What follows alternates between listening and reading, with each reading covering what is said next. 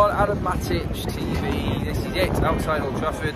Carabao Cup time. Are we taking it seriously? Are we going for it? We need a trophy. I think we can do this one, honestly, because when you look at it, I just said it before in the United stand, by the time the Europa League kicks back into gear, this competition will be pretty much done and, done and dusted.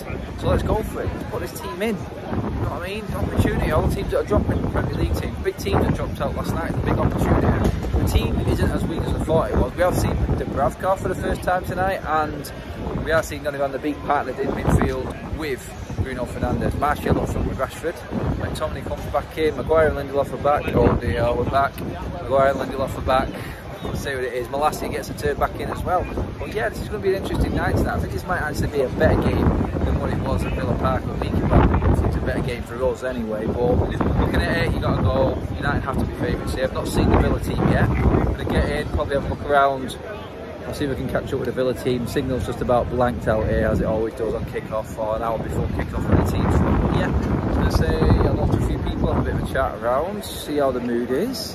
And hopefully I'm celebrating and talking outside, outside Old Trafford here later to you guys. Maybe United playing us in the next round, and hopefully, I'm pretty certain we can find out what the actual uh, round, well they're doing the draw straight after the game, so we'll find out who we've got in the next round as well. But yeah, here we go. Match day one time everyone.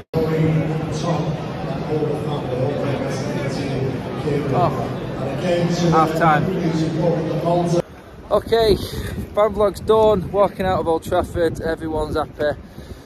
Game of two halves. I mean, you've seen what my reaction was there. Beth there with it as well. I mean, I mean, Beth's just on her vlog there. We're just walking back over to the cars now. I mean, Beth, seriously, Hi guys. what happened in that second half compared to the first, though? What happened was you moved Yeah. Bruno from the right wing, nearly standing.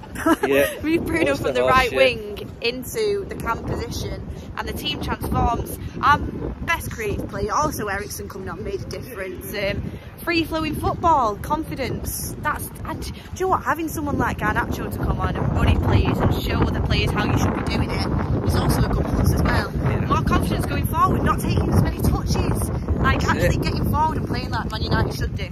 Exactly, I couldn't have said it any better really. That's what everyone said in the second half. It was about actually enjoying football and United taking it to a team at Old Trafford and saying, You're on our park, this is how we play. And that was what it was like in the second half. And that for me just gives that good vibe because at half time I was flat. I thought I was watching, yeah, I thought we were watching Ole Gunnar Solskjaer football again, that's what it was. You can't hear this video by the way, because the wind's blowing right in my face. Hopefully it can, I've not wasted my time completely, but yeah, that's it. It's one of them. Uh, yeah, smiles all around, it only counts. We follow it up against Fulham at weekends and hopefully that's, yeah, last journey of this part of the season. Predicting for Fulham actually. I'm predicting. I'm predicting a three-two. 3-2 against Fulham. Goals are coming in now. That's it. We've broke the seal apparently tonight. And United are going to go forward now. score. That's it. Yeah. Let me know in the comments below, guys. Is Martial start above Ronaldo? Nothing against him, as you know already. I've already had my shit for that. But guys, cheers for watching. Don't forget to subscribe to Adam Mattis TV. Check out all the fan vlogs on the United stands and on our Instagram page. I think I've got a funny one on Instagram as well. There's a half time and then a full time sort of reaction. But yeah, cheers for watching, everybody. I'll see you at weekend for Fulham. Big day.